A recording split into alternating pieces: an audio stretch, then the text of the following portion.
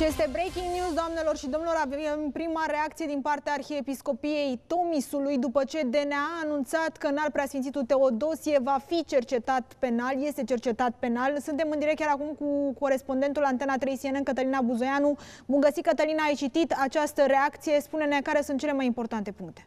Bun găsit, într-adevăr, este vorba despre un comunicat destul de stufos în care cei de la Arhiepiscopie spun că deocamdată nu au toate elementele din dosar și cu certitudine avocații se vor ocupa de acest aspect și atunci vor reveni cu alte uh, informări către presă, însă au dorit să-și mențină punctul de vedere privind nevinovăția în al preasfințitului Teodosie, Arhiepiscopul Tomisului și a consilierului eparhial. Cei doi uh, sunt cercetați în acest dosar. În plus, Arhiepiscopia regretă că aceste momente de tensiune, mai mult sau mai puțin artificiale, susține, apar în această perioadă uh, de post. Uh, speră însă că legea va fi împlinită în litera și spiritul ei. În plus, atât în alta simțitul Teodosie, cât și consilierul eparhiar, în calitate de buni cetățeni, se vor conforma întru totul solicitărilor instituțiilor abilitate.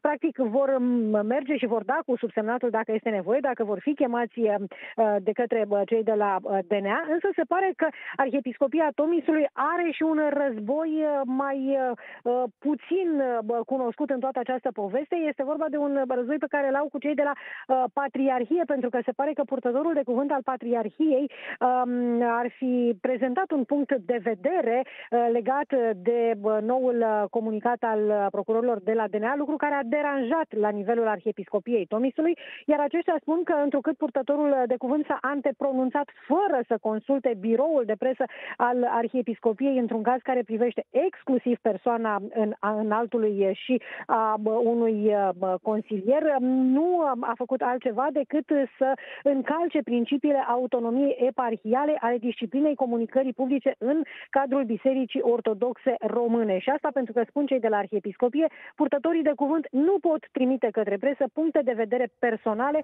și nici nu pot exprima public puncte de vedere personale în probleme referitoare la instituția pe care o reprezintă. Cătălina, îți mulțumim foarte mult pentru aceste